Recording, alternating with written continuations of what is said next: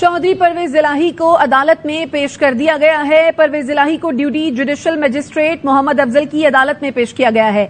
चौधरी परवेज इलाही के वकला भी अदालत में मौजूद हैं। चौधरी परवेज इलाही को दो मुकदमात में गिरफ़्तार किया गया है।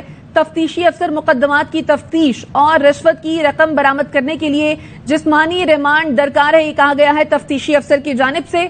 जबकि मुलजिम का चौदह रोजा जिस्मानी रिमांड देने की सदा की गई है। मजीद जानते हैं, गुलाम फरीद से। फरीद आगाह कीजिएगा। जी, बिल्कुल, चौधरी परवेज लाई को अदालत में पेश कर दिया गया है। चौधरी परवेज लाई को ड्यूटी मजिस्ट्रेट जो है, मोहम्मद अफसर की अदालत में पेश किया गया है। चौधरी परवेज लाई के वकला भी अदालत में मौजूद हैं। इसके अलावा जो एंटी एंटी करप्शन की जो टीम है वो भी अपने जो दलाइल है, वो उनके जारी हैं। इसके अलावा जो तफ्तीशी अफसर है, वो भी इस वक्त अदालत में मौजूद हैं। ये जो तफ्तीश है, रिश्वत की रकम बरामद करने के लिए जिसमानी रिमांड की जो इस्तः है, वो की जा रही है।